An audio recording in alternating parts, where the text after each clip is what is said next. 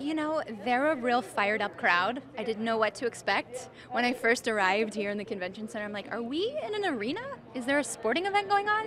They're super excited.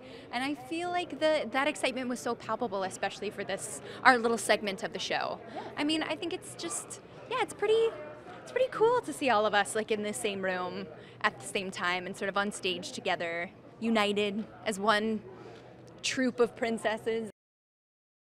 It's never lost on you the uh, just tremendous impact that your life sort of has because you've had the pleasure and privilege of being a part of the Disney lineage. I mean, that's it's it's an experience that I will definitely carry for the rest of my life and I mean, Kristen Bell and I were kind of looking at each other like, are we going to be here doing this in 15, 20 years together? Standing backstage, like, hoping that people are excited, like, still remember who we are. No.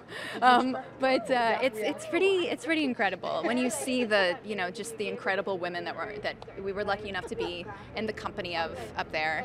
I've been doing it for so long. It's, it's really remarkable.